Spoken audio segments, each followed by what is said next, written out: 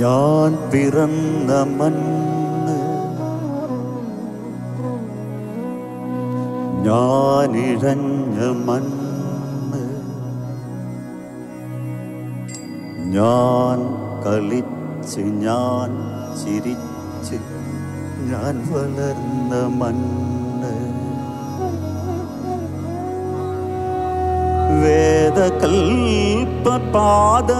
വേദകൽപ്പാദപത്തിൻ വേരുറച്ച മണ്ണ്.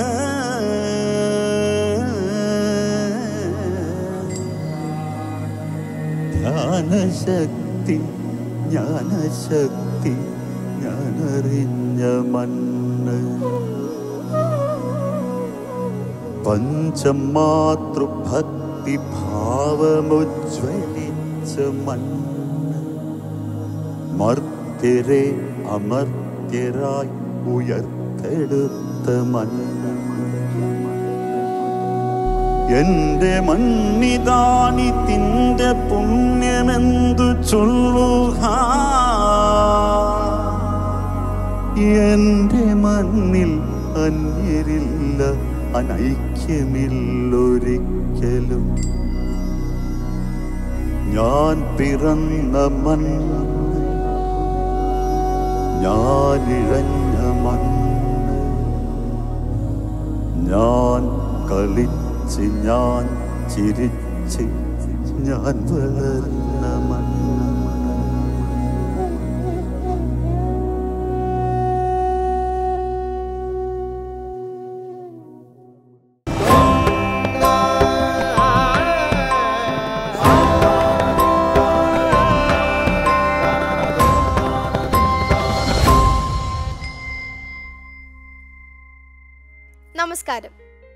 ശ്രേഷ്ഠ ഭാരതം ഞാൻ പിറന്ന മണ്ണിലേക്ക് ഏവർക്കും സ്വാഗതം.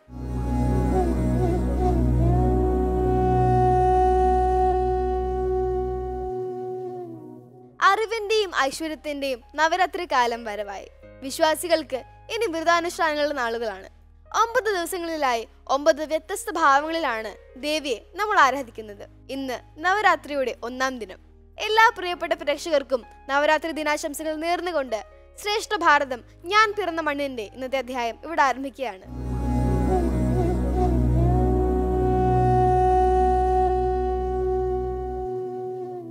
അറിവിന്റെ ഉത്സവവേദിയിൽ തത്വചിന്തകൾ പകർന്നു തന്ന് നമ്മെ മുന്നോട്ട് നയിക്കുന്ന നമ്മുടെ ആചാര്യസഭയെ നമുക്ക് ആദ്യം പരിചയപ്പെടാം.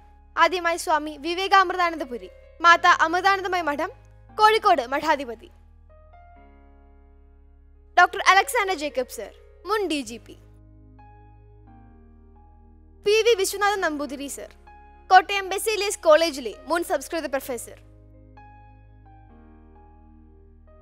ഡോക്ടർ ലക്ഷ്മി ശങ്കർ സംസ്കൃത വിഭാഗ അധ്യക്ഷ ശ്രീകൃഷ്ണ കോളേജ് ഗുരുവായൂർ.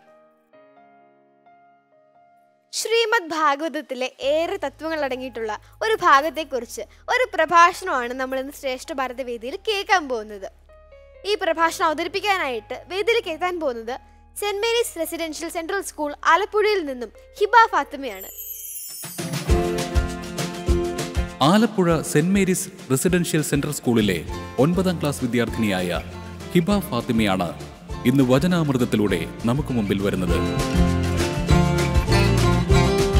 നിരവധി സംസ്കൃത പാരായണ മത്സരങ്ങളിൽ പങ്കെടുത്ത് വിജയിയായ ഹിബ മികച്ചൊരു പ്രാസംഗികയും നർത്തകിയുമാണ്.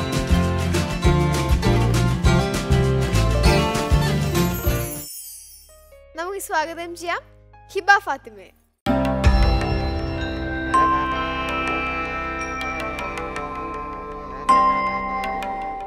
നമസ്കാരം ഹിബ. നമസ്കാരം. എന്തൊക്കെയുണ്ട് വിശേഷം? സുഖമായിട്ടിരിക്കുന്നു. ഞാനൊരു ഡൗട്ട് ചോദിച്ചോട്ടെ? ഇത് അമൃതയുടെ യൂണിഫോം അല്ലേ? അതെ ഞങ്ങളുടെ സ്കൂൾ മാനേജ് മാനേജ്മെന്റ് അമൃതയുടെ ഓക്കെ ഓക്കെ ആ ഞങ്ങൾക്ക് ഞാൻ യൂണിഫോമിനെ പറ്റി വിചാരിച്ചു എന്താ അങ്ങനെയെന്ന്. ടീച്ചറെ ഹിബ വന്നപ്പോൾ തന്നെ ഞാൻ ശ്രദ്ധിച്ചൊരു കാര്യമുണ്ട്.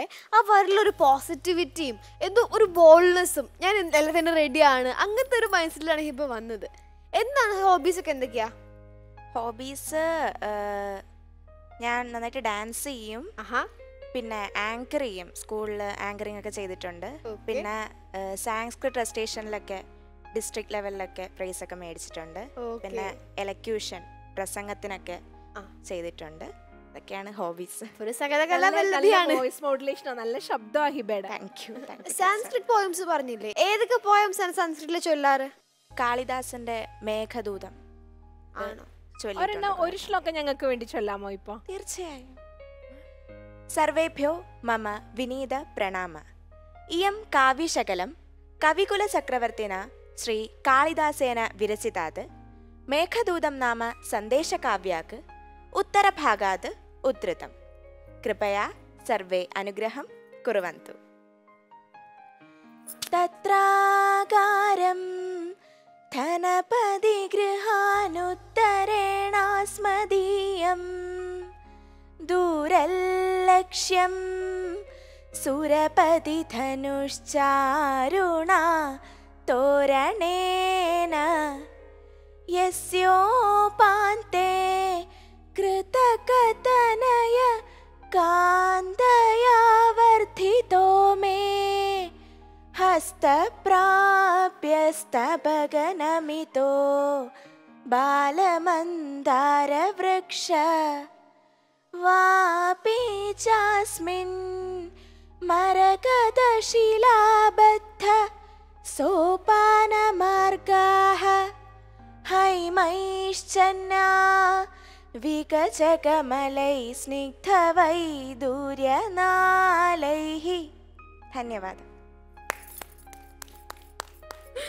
ഈ സംസ്കൃതം ഞാൻ പഠിച്ചത് ഞങ്ങളുടെ സ്കൂളിൽ ഒരു ടീച്ചർ ടീച്ചർ ശരിക്കും സംസ്കൃത ഒരു ഭാഷ ഞങ്ങളുടെ സ്കൂളിൽ എടുക്കുന്നില്ല. പക്ഷെ ഞങ്ങളുടെ സ്കൂളിൽ ബയോളജി പഠിപ്പിക്കുന്ന ഒരു ടീച്ചറുണ്ട്. ഹൈമ എന്നാണ് പേര്. അപ്പോൾ ഹൈമ മിസ്സാണ് എന്നെ സംസ്കൃതം പഠിപ്പിച്ചത്. അപ്പം മിസ്സില്ലായിരുന്നെങ്കിൽ എനിക്ക് ഒരിക്കലും ഇത് സാധിക്കത്തില്ലായിരുന്നു. ആ ശ്ലോകം നല്ല ഗനാത്മകമായ അതിന്റെ ഭാവം ഉൾക്കൊണ്ടുണ്ട്. ഉത്തരമേഘത്തിലേക്ക് കിടക്കുമ്പം ഒരു വിരഹ വേദനയുടെ ഒരു അവസ്ഥ ശരിക്കുണ്ട് അത് നന്നായിട്ട് ആവിഷ്കരിക്കത്തക്ക മട്ടിൽ നന്നായി ചൊല്ലി. ഭംഗിയായി. നന്നായി. ഓക്കെ ഹിബ ഇന്ന് പ്രഭാഷണമാണല്ലേ? അതെ. എന്താണ് പ്രഭാഷണത്തിന്റെ വിഷയം? പ്രഭാഷണത്തിന്റെ വിഷയം ബ്രഹ്മസത്യം ജഗന്മിഥ്യ എന്ന ഉപനിഷത് വാക്യം നമുക്കിന്ന് ആരംഭിച്ചാലോ? ആരംഭിക്കാം. ശ്രേഷ്ഠ ഭാരതം ഞാൻ പിറന്ന മണ്ണിൽ. അടുത്തതായി നമുക്ക് ആരംഭിക്കാം. വചനാമൃതം.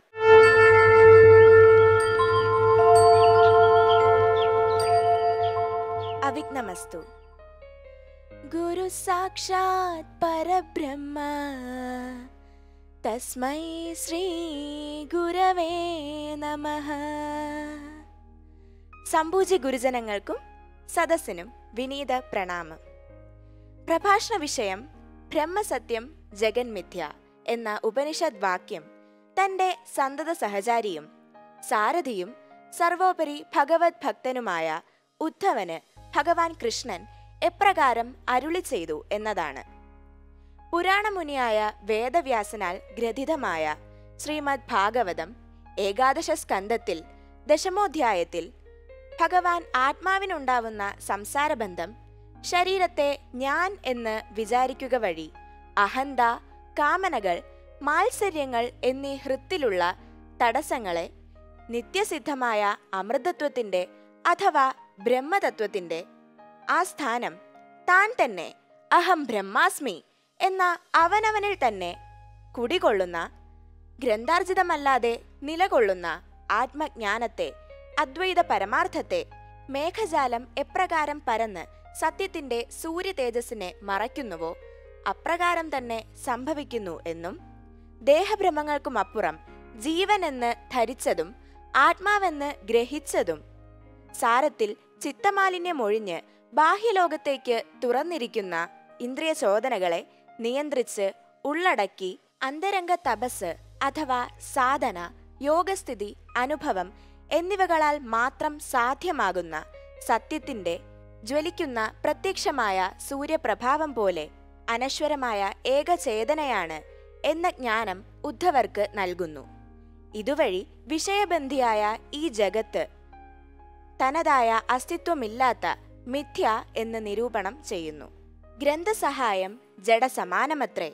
ഇവിടെ ഭഗവാൻ ഉദ്ധവർക്ക് അജ്ഞാനമാകുന്ന അന്ധകാരം അകറ്റി ജ്ഞാനവെളിച്ചം നൽകുന്ന സമീപസ്ഥനായ ഗുരുവായി അനുവർത്തിക്കുന്നു. ഇരുപത്തൊന്ന് പ്രശ്നോത്തരികളിൽ അനുശാസിതമായിരിക്കുന്ന പ്രസ്തുത ഭാഗം അവതാരോദ്ദേശം പൂർത്തിയാക്കി ദേഹനാശത്തിന് ഉദ്യമിക്കുന്ന നേരം ഉത്തമനായ ഉദ്ധവർക്ക് നൽകുന്ന ഭാഗവതോപദേശമാണ്. ഈ ലോകം മായയാകയാൽ സമബുദ്ധ്യ മായാവിച്ഛിന്ന ബോധത്താൽ സഞ്ചരിച്ചാലും എന്ന ഭഗവത് വാക്യം കേട്ട് ഈ ലോകബന്ധം അഥവാ സംഘം കളഞ്ഞിടുവാൻ എന്തുപായമെന്ന് ഉദ്ധവർ ചോദിക്കുന്നു. മോക്ഷം വിഷയഭംഗം വരുത്തി വിദ്യ ഇതവിദ്യയാൽ എന്നരുളുമ്പോൾ ആരാണ് വിദ്വാൻമാരായ മഹത്തുക്കളെന്ന് ചോദിക്കുന്നു. ജിതേന്ദ്രിയന്മാർ. ഇന്ദ്രിയങ്ങളെ ജയിച്ചവർ ബോധികളായ ലോകത്തിന്റെ അനുഗ്രഹത്തിന് പാത്രമായ മഹത്തുക്കളാകുന്നു എന്ന് ഭഗവത് വാക്യം. ഭക്തിയാകുന്നതേത് എന്ന ഉദ്ധവരുടെ ചോദ്യത്തിന് ഭഗവാനിൽ ഉറച്ച മനസ്സും വാക്കും പ്രവൃത്തിയും ഫലേച്ചുകൂടാതെയുള്ള നിഷ്കാമ കർമ്മവും യാതൊരുവനാണ് ബന്ധമോക്ഷങ്ങൾക്ക് വിഷയമാകുന്നത്. മിഥ്യയും മായയുമായ ഈ ജഗത്തിനെ ഇന്ദ്രിയ സുഖങ്ങൾ കൊണ്ട് ബന്ധിക്കപ്പെട്ട ജീവൻ സാത്വിക ഉപാസനയാൽ മാലിന്യമൊഴിഞ്ഞ് തെളിഞ്ഞ അവസ്ഥയാണ് മോക്ഷം. ഇപ്രകാരം വിഷയസുഖം ആപത്തിനു കാരണമെങ്കിൽ അന്യോന്യം ചേർന്നിരിക്കുന്ന വിഷയ മനസ്സുകളെ എപ്രകാരം വേർപെടുത്താം എന്നിങ്ങനെ ചിന്തിക്കുമ്പോൾ തന്നെ സ്മരിച്ച വിധാതാവായ ബ്രഹ്മാവിനു മുന്നിൽ ഹംസമായി അവതാരം ചെയ്ത് ഭക്തിമാർഗം എപ്രകാരം ഭയാതീതനായും ആനന്ദത്തോടെയും ഇരിക്കുവാൻ ശ്രേയസ്കരമായി വർത്തിക്കുന്നു എന്നും ആയതിനാൽ ദേഹാദികളിൽ അഹംബുദ്ധി ആത്മനി എപ്രകാരം രാജസയുക്തമായ ചിത്തത്തെ നൽകുന്നുവെന്നും തന്മൂലമുളവാകുന്ന കാമം കളയുന്നതിന് ധ്യാനത്തിൽ ചിത്തശുദ്ധി വരുത്തി നിർഗുണത്വം പ്രാപിക്കണമെന്നും ഭഗവാൻ അരുൾ ചെയ്യുന്നു. ധ്യാനമാർഗം എന്തെന്ന് ആരായുന്ന ഉദ്ധവരോട് പ്രാണവായുവിനെ ജയിച്ച് തന്റെ ഹൃദയപത്മം ചതുർബാഹുക്കളോടുകൂടിയ കാളമേഘ സന്നിഭമായ ഭഗവത് രൂപത്തിൽ ഇലയിപ്പിക്കുവാനും അരുളുന്നു. വിദ്വാൻമാർക്ക് ഫലസിദ്ധി എപ്രകാരമെന്ന് ചോദിക്കുമ്പോൾ സർവവസ്തുക്കളിലും ഗുണാതീതനും ആശ്രമവർണയുക്തങ്ങളായ ധർമ്മവും താൻ തന്നെ എന്ന് ഭഗവാൻ വ്യക്തമാക്കുന്നു. ഭക്തിസാധനമായ കർമ്മമേത് എന്ന ചോദ്യത്തിന് നാനാ വസ്തുക്കളും തത്വത്തിൽ ഏക ആത്മാവ് എന്ന ജ്ഞാനത്തോടെയുള്ള നാനാ കർമ്മങ്ങളും ദൃഢമാക്കിയ വൈരാഗ്യവും ഭഗവത് ചരിത നാമശ്രവണ കീർത്തനം എല്ലാം തന്നെ ഭക്തിസാധനം എന്ന് ചൊല്ലുന്നു. യമനിയമങ്ങൾ ക്ഷമതമ സാധനകൾ ഇന്ദ്രിയ നിഗ്രഹം ബുദ്ധി തന്നടക്കം അദ്വൈത കാരണമായ അഭേദചിന്ത ശരിയായ ആത്മജ്ഞാനം ബ്രഹ്മമാണ് ഈ പ്രപഞ്ചം എന്ന തിരിച്ചറിവ് പുരുഷാർത്ഥങ്ങളോടുള്ള വിരക്തിക്ക് കാരണമായ ജ്ഞാനം ഭക്തി കർമ്മം എന്നിങ്ങനെ അരുളി ചെയ്യുന്നു പ്രകൃതി പുരുഷ ഭേദം എന്തെന്ന് ചോദിച്ചതിൽ സകലത്തിലും ഭേദം പ്രകൃതിയും സകല ചൈതന്യാത്മ സർവകൻ പുരുഷനെന്നും അരുളുന്നു. ജനിമൃതികൾക്ക് കാരണം കർമ്മസംയുതമായ മനസ്സ് ഓരോരോ ശരീരം ധരിക്കുന്നതാണ്.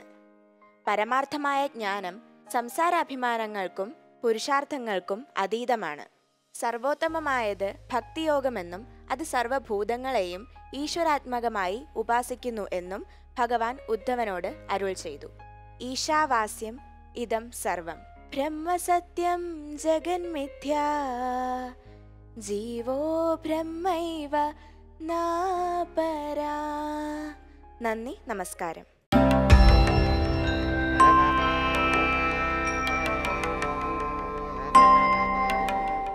ഹിബ നന്നായിട്ട് അവതരിപ്പിച്ചു കേട്ടോ ആരാ സ്ക്രിപ്റ്റ് ചെയ്തേ? എന്റെ ടീച്ചറാണ്.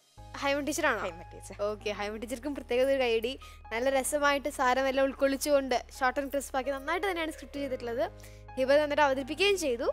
അപ്പോൾ നമുക്ക് ഈ ഒരു വിഷയത്തെക്കുറിച്ച് നമ്മുടെ ആചാര്യസഭയ്ക്ക് എന്താണ് പറയാനുള്ളതെന്ന് കേൾക്കാം അല്ലേ? ശ്രേഷ്ഠ ഭാരതം ഞാൻ പിറന്ന മണ്ണിൽ. അടുത്തതായി നമുക്ക് ആരംഭിക്കാം. സംവാദാമൃതം.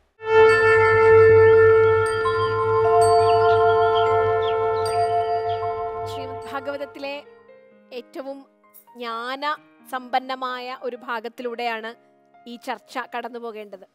ഉദ്ധവോപദേശം ഭാഗവതത്തിലെ മറ്റെല്ലാ കഥകളിൽ നിന്നും ഉപാഖ്യാനങ്ങളിൽ നിന്നും ഒക്കെ വ്യത്യസ്തമായി. ഭഗവാൻ ഒരുപക്ഷെ ശ്രീമദ് ഭഗവത്ഗീത പോലെ തന്നെ ഭഗവാന്റെ രണ്ട് പ്രധാനപ്പെട്ട ഉപദേശങ്ങളാണ് നമ്മുടെ ദാർശനിക ചരിത്രത്തിൽ പ്രധാനമായിട്ടുള്ളത്. അതൊന്ന് ശ്രീമദ് ഭഗവത്ഗീതയും മറ്റൊന്ന് ഉദ്ധവോപദേശവുമാണ്. അത് രണ്ടും സ്വീകരിക്കുന്ന ശിഷ്യന്മാരുടെ അല്ലെങ്കിൽ അത് ഏറ്റുവാങ്ങുന്നവരുടെ പ്രത്യേകത അവർ ഭഗവാനോട് ഏറ്റവും അടുത്തു നിൽക്കുന്നവരാണ് എന്നത് തന്നെയാണ്. നമ്മൾ ഈ ഉപനിഷത്ത് എന്നൊക്കെ പറയുന്നത് പോലെ ഏറ്റവും ഹൃദയത്തോട് ചേർന്ന് നിന്നുകൊണ്ട് ഒരു മനസ്സിന്റെ ഐക്യമുള്ളപ്പോൾ സംഭവിക്കേണ്ടതാണ് ഈ ആത്മസംവാദങ്ങളൊക്കെ. അർജുനനോട് സംസാരിച്ചതും ഇപ്പോൾ ദാ ഉദ്ധവരോട് തന്റെ ജീവിതത്തിന്റെ നിർണായകമായ കർമ്മ ദൗത്യം മുഴുവൻ പൂർത്തിയാക്കി ഭഗവാൻ തന്റെ ദൗത്യത്തിന് ശേഷം തിരിച്ചു പോകാൻ ഒരുങ്ങുന്ന സമയത്താണ് ഉദ്ധവർക്ക് ഇത്ര പ്രധാനപ്പെട്ട ഉപദേശം കൊടുക്കുന്നത്. നമ്മളെ പല മഹാന്മാരുടെയും ശ്രീബുദ്ധന്റെയും യേശുദേവന്റെയും ഒക്കെ ഏറ്റവും അവസാനത്തെ ചിന്തകൾ അവ- അവർ ജീവിതത്തിന്റെ അവസാന ഘട്ടത്തിൽ കൊടുത്തിട്ടുള്ള ഉപദേശങ്ങൾ നോക്കിയാൽ അത് വളരെ തന്ത്രപ്രധാനമായ വളരെ സാരഗർഭമായ അവരുടെ ജീവിതം കൊണ്ട് ഉദ്ദേശിച്ചിട്ടുള്ള ആശയങ്ങളെ മുഴുവൻ നമുക്ക് പറഞ്ഞു തരുന്ന കൂടുതൽ ഹൃദയത്തോട് സംവദിക്കുന്ന ഉപദേശങ്ങളാണ്. ഇവിടെ ഉദ്ധവൻ എന്ന ഭക്തോത്തമന്റെ ഹൃദയത്തോടാണ് ഭഗവാൻ സംസാരിക്കുന്നത്. അഥവാ ഭക്തന്റെ ഹൃദയത്തോടാണ് ഭഗവാൻ സംസാരിക്കുന്നത്. ഇരുപത്തിനാല് ഗുരുക്കന്മാരെ പറഞ്ഞു കൊടുത്തുകൊണ്ട് നീ പ്രപഞ്ചത്തെ കാണൂ പ്രപഞ്ചത്തെ നോക്കൂ പ്രപഞ്ചത്തിൽ എല്ലായിടത്തു നിന്നും നീ അറിവ് സ്വീകരിക്കൂ എന്ന് പറഞ്ഞു കൊടുത്തുകൊണ്ട് അടുത്ത ഘട്ടത്തിലാണ് ഈ ബ്രഹ്മസത്യം ജഗന്മിഥ്യ എന്ന തത്വം ഭഗവാൻ ഉപദേശിക്കുന്നത്. നമുക്കറിയാം ഉദ്ധവനോട് ഭഗവാൻ ത്വം തു സർവം പരിത്യജ്യ സ്നേഹം സ്വജന ബന്ധുഷു ബന്ധുക്കളോടുള്ള സ്നേഹം പരിത്യജിച്ചുകൊണ്ട് നീ ഏകാന്തമായി ഒരു യാത്ര ചെയ്യൂ എന്ന് പറയുമ്പോൾ ഉദ്ധവനെ സംഘം ത്യജിക്കാൻ ബുദ്ധിമുട്ടാണ്. നമ്മളെയൊക്കെ പോലെ തന്നെ ഈ പ്രപഞ്ചത്തോടും ബന്ധങ്ങൾ ത്യജിക്കാൻ ബുദ്ധിമുട്ടാണ്. സംഘം ത്യജിക്കുന്നതിനുള്ള ഉപായം എന്താണ് എന്ന് പറഞ്ഞു കൊടുക്കുമ്പോഴാണ് സംഘം എങ്ങനെ ഉണ്ടാകുന്നു ആരോടുണ്ടാകുന്നു ഈ പ്രപഞ്ചത്തോടുണ്ടാകുന്നു. ഇവിടുത്തെ ഓരോ വസ്തുക്കളോടും ഉണ്ടാകുന്നു. അപ്പൊ സംഘം ത്യജിക്കാനുള്ള മാർഗം എന്താണ്? ഈ പ്രപഞ്ചത്തിന്റെ സത്യാവസ്ഥ അറിയുക തന്നെയാണ്. ഈ പ്രപഞ്ചത്തിന്റെ സത്യാവസ്ഥ എന്താണ്? ഈ പ്രപഞ്ചം മിഥ്യയാണ് എന്നുള്ളതാണ്. അപ്പൊ ഈ ഒരു കൃത്യമായ ഒരു ചോദ്യ ഉത്തര ഉദ്ധവന്റെ സന്ദേഹങ്ങൾക്ക് കൃത്യമായി സംഘം ത്യജിക്കണമെങ്കിൽ പ്രപഞ്ച സ്വരൂപം അറിയണം. സംഘത്തിന് കാരണമായ പ്രപഞ്ച സ്വരൂപം അറിയണം. പ്രപഞ്ച സ്വരൂപം അറിയണമെങ്കിൽ പ്രപഞ്ചം മിഥ്യയാണ് എന്നറിഞ്ഞ് നമുക്ക് തോന്നുന്നതാണ് എന്നറിഞ്ഞ് മിഥ്യ എന്ന വാക്കിനെ അനിർവചനീയത എന്ന് അനിർവചനി മിഥ്യാശബ്ദോ അനിർവചനീയതാവചന എന്ന് നമ്മുടെ ആചാര്യന്മാർ വ്യാഖ്യാനിച്ചിട്ടുണ്ട്. അപ്പോൾ ഒരു ഭാരതീയ ദാർശനിക പദ്ധതിയിലെ ഏറ്റവും പ്രധാനപ്പെട്ട ഒരു ദാർശനിക സംജ്ഞയാണ് മിഥ്യ എന്ന വാക്ക്. അത് അസത്യമല്ല ഇല്ലാത്തതല്ല മറിച്ച് അല്ലാത്തതാണ് എന്നാണ് പറഞ്ഞു കൊടുക്കുന്നത്. ഇത് ഇത് വ്യാഖ്യാനിച്ചാൽ ഭാഗവതം മുഴുവൻ വ്യാഖ്യാനിച്ചതുപോലെയായി. ഇത് വ്യാഖ്യാനിച്ചാൽ നമ്മുടെ ദാർശനിക ചിന്തകൾ മുഴുവൻ വ്യാഖ്യാനിച്ചതുപോലെയായി. അപ്പോൾ എന്താണ് ജഗത്ത് എന്ന ജഗത് സ്വരൂപത്തെയാണ് കാട്ടിക്കൊടുക്കുന്നത്. അതിലൂടെ ഉദ്ധവൻ എത്തിച്ചേരുന്നത് എന്താണ് സത്യം എന്ന പരമ തലത്തിലേക്കാണ് നമുക്ക് സ്വാമിജിയോട് ചോദിക്കാം ഇതിന്റെ താത്വികമായ ഘടന എങ്ങനെയാണ് എന്ന്.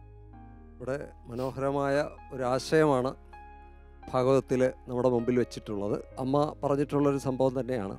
ഈ മിഥ്യ എന്നുള്ള സങ്കല്പം പലരെ സംബന്ധിച്ച് ഇല്ലാത്തതെന്നാണ്. അമ്മ തന്നെ പറഞ്ഞിട്ടുണ്ട് ഇല്ലാത്തത് എന്നല്ല അല്ലാത്തത് എന്ന്. അമ്മ സൂചിപ്പിച്ചിട്ടുണ്ട്. എന്നുവെച്ചാൽ ഈ കാണുന്ന സ്വരൂപങ്ങൾ അതുപോലെയല്ല. ഇത് മാറിക്കൊണ്ടിരിക്കുന്നതാണ്. ഇപ്പോൾ ഈ കാണുന്ന നമ്മൾ തന്നെ മാറിയിട്ടില്ലേ? എത്രയോ പ്രാവശ്യം മാറി. അമ്മയുടെ വയറ്റിൽ കിടക്കുമ്പോൾ ഉള്ള സ്വരൂപമൊന്നുമല്ലല്ലോ ഇപ്പം നമ്മുടെ ദേഹത്തിന് തന്നെ എത്രയോ പരിണാമങ്ങളിലൂടെ കടന്നുപോയി. ഏഴ് വർഷം കഴിയുമ്പോൾ എല്ലാ കോശങ്ങളും നശിക്കുമെന്നാണ് അപ്പം നമ്മൾ ആ ശരീരം ഇല്ല. അമ്മയുടെ വയറ്റിൽ നിന്ന് വന്നപ്പോൾ ഉള്ള ശരീരം അല്ല ഇപ്പം നമ്മുടെ. അപ്പോൾ അങ്ങനെ മാറിക്കൊണ്ടിരിക്കുകയാണ്. എല്ലാ വസ്തുക്കളും ഈ കാണുന്ന പ്രപഞ്ചത്തിലെ എല്ലാ വസ്തുക്കളും അനുനിമിഷം മാറിക്കൊണ്ടിരിക്കുകയാണ്. സെല്ലുകൾ ഒരുപാട് ചത്തൊടുങ്ങുന്നു. പുതിയ സെല്ലുകൾ ഉണ്ടാകും ഇങ്ങനെയാണ് കാണുന്നത്. അപ്പോൾ ഈ കാണുന്നത് സത്യമല്ല എന്ന് പറഞ്ഞു കഴിഞ്ഞാൽ അതാണ് അതിന്റെ ശരിക്കുള്ള അർത്ഥം. പിന്നെ ശ്രീ ശങ്കരാചാര്യർ അദ്ദേഹം ഈ ഇത്രയും ഭാഷ്യങ്ങൾ കൊടുത്തിട്ടുണ്ട് പ്രസ്ഥാനത്രയങ്ങൾക്ക് ഭാഷ്യങ്ങൾ രചിച്ചു.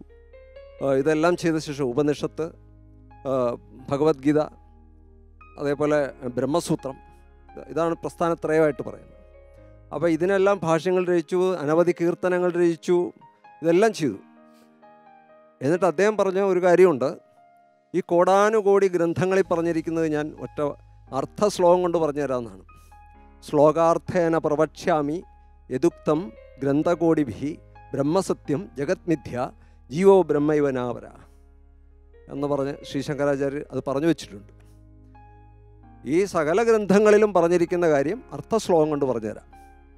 അത് ഇതാണ് ബ്രഹ്മമാണ് സത്യം. ജഗത്ത് മിഥ്യയാണ്. ഇത് കാണുന്നത് പോലെയല്ല. അതിനെ അത് സത്യത്വം നമുക്ക് കൽപ്പിക്കാൻ പറ്റില്ല. അത് മാറിക്കൊണ്ടിരിക്കുന്നുമുണ്ട് എപ്പോഴും മാറാത്ത ഒന്നേ ഉള്ളൂ ബ്രഹ്മം. എല്ലാത്തിലും അടിസ്ഥാനപരമായിട്ടതാണ് നിലകൊള്ളുന്നത്. നമ്മുടെ ഉള്ളിലും അവസ്ഥാത്രയങ്ങൾ ജാഗ്രത സ്വപ്നം സുഷുപ്തി ഇതാണ് അവസ്ഥകൾ. ഇവിടെയൊക്കെ ഈ അവസ്ഥകൾക്കൊക്കെ മാറാതെ നിൽക്കുന്ന ചൈതന്യം ബ്രഹ്മം തന്നെയാണ്. അതുകൊണ്ടാണ് ജീവൻ ബ്രഹ്മം തന്നെയാണെന്ന് പറഞ്ഞത്. ജീവൻ വേറൊന്നല്ല പ്രത്യേക ഒരു ഐഡന്റിറ്റി ജീവനില്ല ജീവൻ ബ്രഹ്മം തന്നെയാണ്. ഇങ്ങനെയാണ് ഭഗവാൻ സ്ഥാപിച്ചിരിക്കുന്നത്. അപ്പം ഈ ആശയമാണ് ഈ അദ്വൈത ആശയം തന്നെയാണ് ഭഗവത് ഈ ഭാഗവതത്തിൽ മുഴുവൻ നിറഞ്ഞിരിക്കുന്നത്. ഇപ്പം നവരാത്രി കാലഘട്ടം തുടങ്ങുന്ന സന്ദർഭമാണെങ്കിൽ നേഹ നാനാസ്തി കിഞ്ചന എന്ന് ദേവി പറയുന്നുണ്ട്. ഇവിടെ എല്ലാം ഞാൻ തന്നെയാണ് മറ്റൊന്നും തന്നെ ഇല്ല. ഞാനല്ലാണ്ട് മറ്റൊന്നും തന്നെ ഇല്ല. അപ്പോൾ എല്ലാത്തിലും നിറഞ്ഞിരിക്കുന്ന ഞാൻ ഞാൻ എന്നുള്ള ശക്തിയാണ്. തോന്നുന്നതാകിൽ അഖിലം ഞാൻ എന്ന് പറഞ്ഞിട്ടുണ്ട്. തോന്നുന്നതാകിൽ അഖിലം ഞാൻ ഇതെന്ന വഴി തോന്നേണമേ വരദനാരായണായ നമ ഹരിനാമകീർത്തനത്തിൽ. അപ്പോൾ എല്ലാത്തിലും നിറഞ്ഞു നിൽക്കുന്ന എല്ലാവരിലും നിറഞ്ഞു നിൽക്കുന്ന ഞാൻ ഞാൻ ഞാൻ എന്നുള്ള ആ ശബ്ദം അത് കോമണാണ് അതിന് ജാതിയില്ല അതിന് മതമില്ല അതിന് മറ്റു വ്യത്യാസങ്ങളൊന്നുമില്ല. ആ ബോധം അത് അഖണ്ഡ ബോധമാണ്. ആ അതിനെപ്പറ്റിയാണ് ഇവിടെ ബ്രഹ്മം സത്യം എന്ന് പറയുന്നത്. ബ്രഹ്മസത്യമാണത്. മറ്റതെല്ലാം മിഥ്യയാണ്. ഇതാണ് നമ്മൾ മനസ്സിലാക്കേണ്ടത്. ഈ ഒരു ഭാവം വന്നു കഴിഞ്ഞാൽ പിന്നെ ഇവിടെ വിദ്വേഷങ്ങളില്ലല്ലോ. എല്ലാം അസ്തമിച്ചു. സകല വിദ്വേഷങ്ങൾ അസ്തമിച്ചു. അത് നമ്മൾ മനസ്സിലാക്കി മുന്നോട്ട് പോകാനാണ് ഇതിൽ ഭാഗവത്തിലെ ഈ ഉപദേശം. നമസ്കാരം വേദാന്തസാരമായ ഈ ആശയത്തെ എങ്ങനെയാണ് ഭഗവാൻ ഉദ്ധവർക്ക് അനുഭവവേദ്യമാക്കി കൊടുക്കുന്നത്? ശ്രീമദ് ഭാഗവതം പ്രഥമ സ്കന്ധം ആരംഭിക്കുന്നത് തന്നെ സത്യം പരം ധീമഹി എന്ന പ്രഖ്യാപനത്തോടെയാണ്. പരമമായ സത്യത്തെ ധ്യാനിക്കുന്നു എന്നാണ്. പരമമായ സത്യം എന്താണ് എന്നാണ് പറഞ്ഞാൽ ബ്രഹ്മ സത്യം. പരമമായ സത്യം ഈശ്വരനാണ് ബ്രഹ്മമാണ് അതിനപ്പുറത്തൊന്നുമില്ല. അപ്പം ഈ കാണുന്ന പ്രപഞ്ചം മിഥ്യയാണ്. അതിങ്ങനെ പറയാനല്ലേ പറ്റുകയുള്ളൂ. ഈ കാണുന്ന പ്രപഞ്ചമൊക്കെ മിഥ്യയാണ്. ഞാൻ കണ്ടുകൊണ്ടിരിക്കുന്നില്ലേ? ഇതില്ലാത്തതുപോലാണ് എന്ന് പറഞ്ഞാൽ എനിക്ക് അങ്ങനെ മനസ്സിലാക്കാൻ പറ്റും. ഞാൻ നിങ്ങളൊക്കെ എന്റെ മുമ്പിൽ ഇരിക്കുന്നു. ഇതൊക്കെ വെറുതെയാണ്. ഇതൊക്കെ ഇല്ലാത്തതാണ് എന്ന് പറയാനല്ലേ പറ്റുള്ളൂ ഇതെങ്ങനെ അനുഭവിച്ചറിയാൻ പറ്റും എന്ന് കാണിക്കാൻ ജാഗ്രത സ്വപ്നത്തെ സ്വപ്നം എന്നുള്ള രണ്ട് അവസ്ഥകൾ ഉദാഹരിച്ചുകൊണ്ടാണ് സ്ഥാപിക്കാൻ പോവുക. ജാഗ്രത ഉണർന്നിരിക്കുന്ന ഞാൻ എന്റെ മനോഭാവത്തിൽ എന്തെന്ത് ഭാവങ്ങൾ മാറ്റി മാറ്റി കൊണ്ടിരുന്നുണ്ട് കോപമുണ്ടാവും സന്തോഷമുണ്ടാവും ചിന്തയുണ്ടാകും ഈർഷയുണ്ടാകും അഫൂയുണ്ടാകും ഡംഭുണ്ടാകും ഇതെല്ലാം എന്ത് ചെയ്യും? ഉണ്ടായും ഇതൊന്നും ആരല്ല. ഞാനല്ലല്ലോ എന്റെ കോപം അല്പം കഴിയുമ്പോൾ മാറും. ഞാൻ എന്തായി സന്തുഷ്ടവാനായി അപ്പോൾ ഇതുപോലെ ജാഗ്രതത്തിൽ മാറുന്നത് സ്വപ്നത്തിൽ. സ്വപ്നം എന്ന് പറയുമ്പോൾ സ്വപ്നം അനുഭവിക്കുമ്പോൾ ഞാൻ രണ്ടായിട്ട് മാറും. സ്വപ്നം കണ്ടുകൊണ്ടിരിക്കുന്ന ഞാൻ സ്വപ്നം അനുഭവിക്കുന്ന ഞാൻ ഇന്ന് രണ്ടാവും.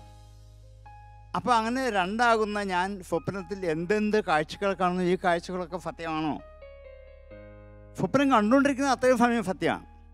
ഉണർന്നു കഴിയുമ്പോൾ ഇതൊക്കെ എന്താണ്? മിഥ്യയല്ലേ? സ്വപ്നത്തിൽ ഞാൻ ഇങ്ങനെ കാണുകയാണ്. ഞാൻ എന്താ പുഴയുടെ തീരത്ത് പോയി നിൽക്കുന്നു. ഞാൻ പുഴയിലേക്ക് മറിഞ്ഞു വീഴുന്നു. ഇങ്ങനെ പുഴയിൽ കൂടി ഇങ്ങനെ വെള്ളം കുടിച്ച് തത്തി മറിഞ്ഞ് മറിഞ്ഞ് പോകുന്നു. എവിടെയെങ്കിലും ഞാൻ ഉടക്കി നിൽക്കുന്നു. എന്റെ ശ്വാസം നിലയ്ക്കുന്നു. ആൾക്കാരോ പോലീസുകാരൊക്കെ തപ്പിക്കൊണ്ടുവന്ന് എന്നെ വന്ന് അടുത്ത ആശുപത്രി കൊണ്ടുവന്നു ജീവനില്ല പെട്ടിക്കകത്താക്കി അടച്ച് എന്റെ വീട്ടിന് മുമ്പിൽ കൊണ്ടുപോകുന്നു എന്റെ ചുറ്റും ബന്ധുക്കളൊക്കെ ഇരുന്ന് കരയുന്നു. ഇതാരാ കാണുന്നേ? ഞാൻ. പെട്ടി കിടക്കുന്നോ? ഞാൻ. ഏതാണ് മിഥ്യ? ഏതാണ് സത്യം? ഇതേപോലെയാണ് ഈ പ്രപഞ്ച അനുഭവം. കണ്ടുകൊണ്ടിരിക്കുന്നത്. ഉണർന്ന് കഴിയുമ്പോൾ ഞാൻ എന്റെ കട്ടിൽ തന്നെ കിടക്കുകയാണ് പെട്ടിയിലല്ല. എന്റെ ചുറ്റും ആൾക്കാരും ഇല്ല കരയൊന്നുമില്ല എനിക്ക് അപകടമില്ല ഒന്നുമില്ല. ഹാവു ഞാൻ സുഖം. അപ്പോൾ ഇത്രയും സമയം ഞാൻ കണ്ടതോ കണ്ടത് സ്വപ്നത്തിലാണ് കണ്ടത്. സ്വപ്നത്തിൽ കണ്ട അത്രയും സമയവും എന്തായിരുന്നു? ഇത് മിഥ്യയാണെന്ന് മനസ്സിലായി. ഉണർന്നപ്പോൾ മനസ്സിലായി ഇതൊക്കെ മിഥ്യയാണ്. അതേപോലെയാണ് നമ്മളിപ്പോൾ കാണുന്ന ഒരു സ്വപ്നമാണ്. ഈ രണ്ടര വർഷം എന്താ രാത്രി ഒരു മണിക്കൂറോ രണ്ട് മണിക്കൂറോ അഞ്ചോ ആറോ മണിക്കൂറോ കണ്ട സ്വപ്നം ഇപ്പം നമ്മൾ നാൽപ്പതോ അമ്പതോ അറുപതോ എഴുപതോ വർഷം നീണ്ടു കണ്ടുകൊണ്ടിരിക്കുന്ന ഒരു സ്വപ്നമാണ്. ഇനി നമ്മളെ എന്ത് ചെയ്യണം? ഉണർത്തണം. അതാണ് സത്യമായ ഈശ്വര സങ്കല്പം നമ്മളെ അതിൽ നിന്നും ഉണർത്തും. അതുകൊണ്ടാണ് ഉത്തിഷ്ഠത ജാഗ്രത പ്രാപ്യവരാൻ നിബോധത. എഴുന്നേൽക്കൂ. നിങ്ങൾ ഉറക്കത്തിൽ സ്വപ്നം കണ്ടുകൊണ്ട് കിടക്കുകയാണ്. എഴുന്നേൽക്കൂ. എഴുന്നേൽക്കും മനസ്സിലാകും ഇതുവരെ കണ്ടത് മിഥ്യയാണ്. ഇങ്ങനെയാണ് ഈ മിഥ്യ ജഗത്ത് മിഥ്യ എന്ന് നമുക്ക് സ്ഥാപിക്കാൻ പറ്റുന്നത്. അപ്പം ജാഗ്രതാവസ്ഥയിലും സ്വപ്നാവസ്ഥയിലും രണ്ടവസ്ഥയിലും അനുഭവിക്കുന്ന ഓരോ അനുഭവങ്ങൾ സത്യമല്ല. അല്ലെങ്കിൽ അത് മിഥ്യയാണ് എന്ന് ബോധ്യമാകുമ്പോൾ ഈ ജഗത്ത് മുഴുവൻ ഇങ്ങനെയാണ് എന്നറിഞ്ഞാൽ യഥാർത്ഥമായ സത്യം ഈശ്വരനാണെന്ന് തിരിച്ചറിയാൻ പറ്റും. ഇതാണ് ബ്രഹ്മസത്യം ജഗൻ സത്യ എന്ന് ഒരു വാക്കിൽ കൂടി നമുക്ക് സ്ഥാപിക്കാനുള്ളത്. ഇതേപോലെയുള്ള അതിഗഹനങ്ങളായ തത്വാംശങ്ങൾ അതിമനോഹരമായി അന്തിമ വേളയിൽ ഉദ്ധവർക്ക് ഭഗവാൻ ഉപദേശിച്ചു കൊടുക്കുന്നുണ്ട്. അതിലെ പ്രസിദ്ധമായ ഉപനിഷത് വാക്യമാണ് ഇവിടെ നമ്മൾ ഉദാഹരിച്ച് നമ്മൾ ചർച്ച ചെയ്തത്. സർ ഈ ആശയത്തെ പറ്റിയിട്ട്. പ്രത്യേകിച്ചും നമ്മൾ ഭാരതീയ ദർശനങ്ങൾ പഠിക്കുമ്പോൾ ധാരാളം ഉപയോഗിക്കുന്ന വാക്യമാണ് ഈ ബ്രഹ്മസത്യം ജഗൻ മിഥ്യ എന്നുള്ളത്. എങ്ങനെയാണ് സാറിന്റെ ഒരു അനുഭവ പരിസരം വെച്ചിട്ട് ഇതിനെ മനസ്സിലാക്കാൻ ശ്രമിച്ചിട്ടുള്ളത്? അതായത് മോഡേൺ സയൻസ് പഠിക്കുന്ന ഒരു വിദ്യാർത്ഥിക്ക് ഇത് മനസ്സിലാവില്ല. ട്രൂത്ത് അല്ലെങ്കിൽ റിയാലിറ്റി എന്ന് പറയുന്ന അവൻ ചിന്തിക്കുമ്പോൾ ഇത് വായിച്ചാൽ മനസ്സിലാവത്തില്ല. പക്ഷെ ശാസ്ത്രം കൃത്യമായിട്ട് പറഞ്ഞ് മനസ്സിലാക്കിയിരിക്കുകയാണ്. ഒരാറ്റത്തിനകത്ത് ninety nine point nine nine percent vacant ആണ്. ഒ- ഒരു പ്രോട്ടോണും ഒരു ഇലക്ട്രോണും ഒരു ന്യൂട്രോണും കൂടെ ചേരുന്ന ആ ഭാഗം മാറ്റർ എന്ന് പറയുന്ന ഭാഗം അതിന്റെ one zero point point zero one മാത്രമേ ഉള്ളൂ.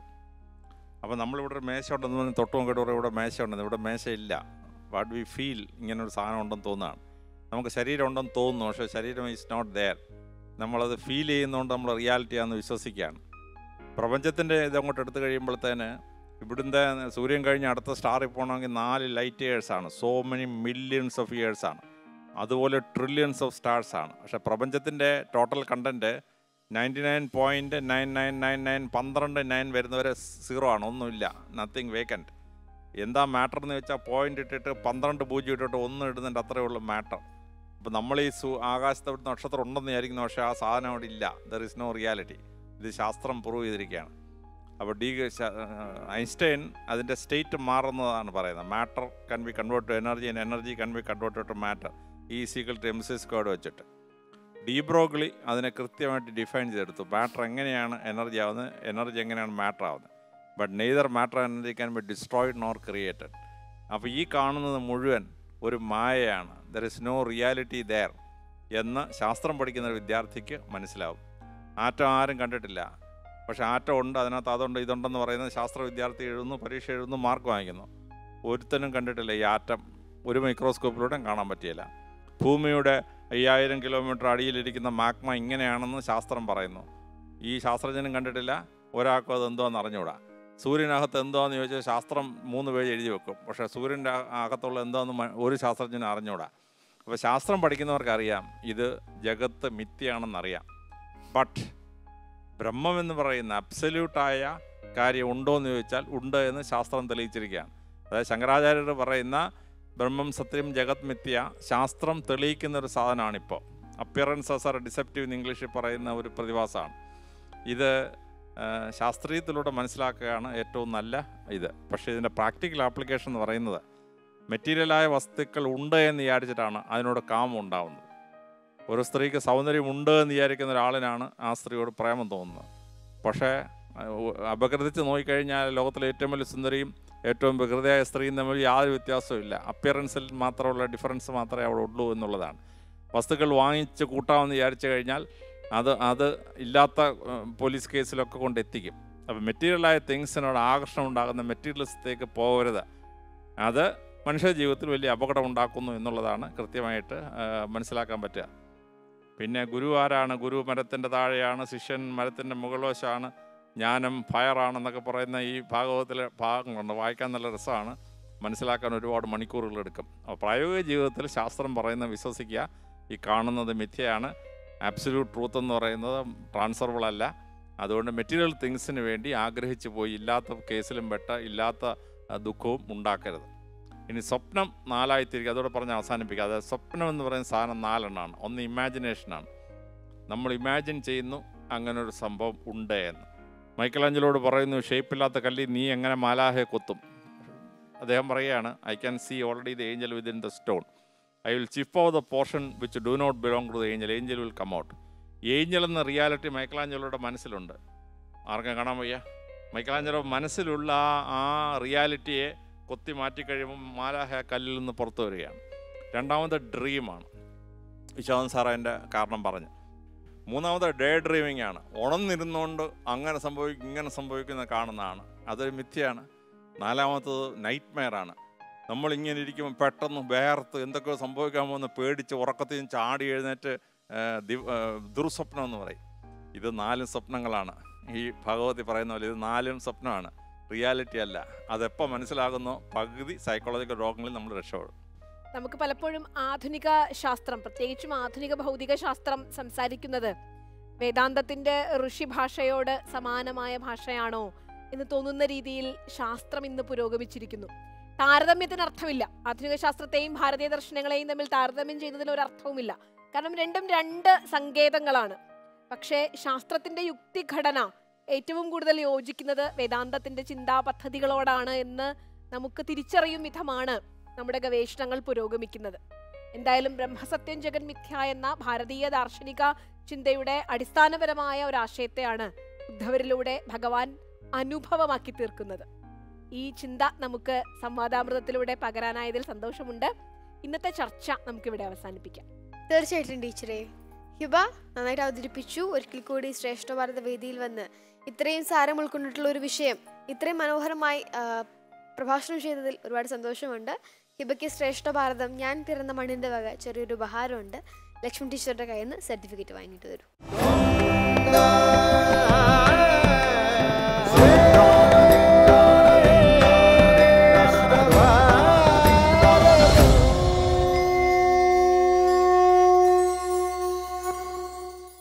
ഒരിക്കൽ കൂടി ഹിബയ്ക്ക് എല്ലാവിധ ആശംസകളും നേരുന്നു. ഓൾ ദി ബെസ്റ്റ് ശ്രേഷ്ഠ ഭാരതം ഞാൻ പിറന്ന മണ്ണിന്റെ ഇന്നത്തെ സംവാദാമൃതം അവസാനിക്കുകയാണ്. ഇന്ന് നവരാത്രിയുടെ ആരംഭമാണ്. വിദ്യാദേവതയായും കലയുടെയും സംഗീതത്തിന്റെയും അക്ഷരത്തിന്റെയും ഒക്കെ ദേവതയായി നാം ദേവിയെ ആരാധിക്കുകയാണ്. നമുക്ക് എന്തു കഴിവുണ്ടോ അതുകൊണ്ട് ദേവിക്ക് പൂജ ചെയ്യുക. നമുക്കിന്നൊരു നൃത്ത പുഷ്പാഞ്ജലി. പ്രത്യേകിച്ചും ശിവാനിയുടെ നൃത്തം ദേവിക്ക് ഏറെ പ്രിയപ്പെട്ടതായിരിക്കും. അപ്പോൾ നമുക്ക് നൃത്തം കൊണ്ട് ഈ നവരാത്രിയുടെ ആരംഭ ദിവസം ദേവിയെ പൂജിക്കാം. ശിവാനിയുടെ നൃത്തം കണ്ടിട്ട് നമുക്ക് തിരിച്ചു വരാം.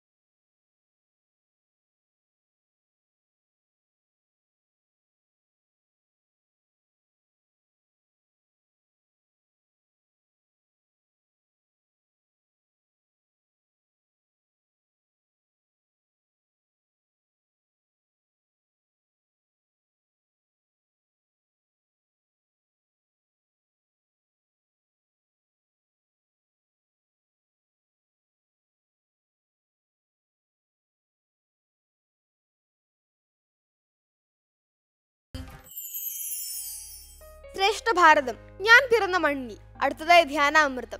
നമുക്ക് ആരംഭിക്കാം. ഇന്നത്തെ ധ്യാനാമൃതം.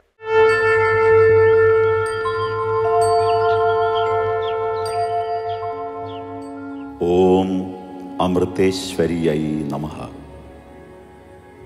അവരവരുടെ ഇരിപ്പിടങ്ങളിൽ നട്ടെല്ല് നിവർത്തി കണ്ണുകൾ അടച്ചിരിക്കുക. ശ്വാസത്തിൽ ശ്രദ്ധ കേന്ദ്രീകരിക്കുക. സാധാരണഗതിയിൽ ശ്വാസം എടുക്കുകയും വിടുകയും ചെയ്യുക. ബോധപൂർവം സ്വയം അറിഞ്ഞ് ശ്വസിക്കുക. ശ്വാസഗതിയുടെ താളം ശ്രദ്ധിക്കുക.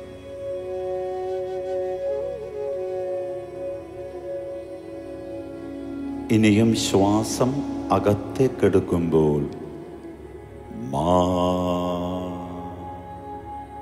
എന്ന ശബ്ദത്തിന്റെ തരംഗങ്ങൾ ശ്വാസത്തിൽ സ്പന്ദിക്കുന്നതായി ഭാവന ചെയ്യുക. ശ്വാസം പുറത്തേക്ക് വിടുമ്പോൾ ഓ എന്ന ശബ്ദത്തിന്റെ തരംഗങ്ങൾ ശ്വാസത്തിൽ സ്പന്ദിക്കുന്നതായി ഭാവന ചെയ്യുക. ശ്വാസം അകത്തേക്കെടുക്കുമ്പോൾ മാ പുറത്തേക്ക് വിടുമ്പോൾ ഓ. ഈ ശബ്ദ തരംഗങ്ങൾ ശ്വാസഗതിക്കനുസരിച്ച് താളാത്മകമായി സ്പന്ദിക്കുന്നതായി മനസ്സുകൊണ്ട് ഭാവന ചെയ്യുക. മാ ഓ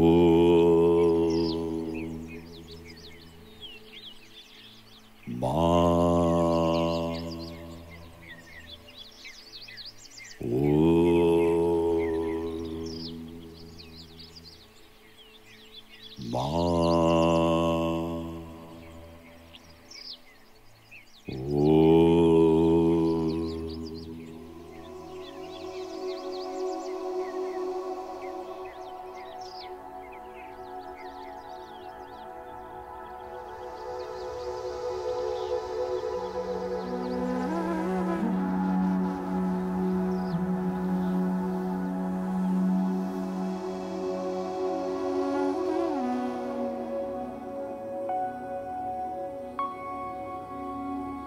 ക്രമേണ മാ ഓം എന്നീ ശബ്ദ തരംഗങ്ങൾ പൂർണമായും നിലയ്ക്കുന്നു.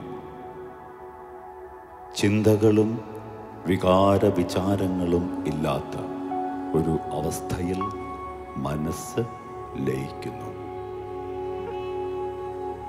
മേഘങ്ങളില്ലാത്ത അനന്തമായ ആകാശം പോലെ ഓളങ്ങളില്ലാത്ത സുന്ദരമായൊരു തടാകം പോലെ.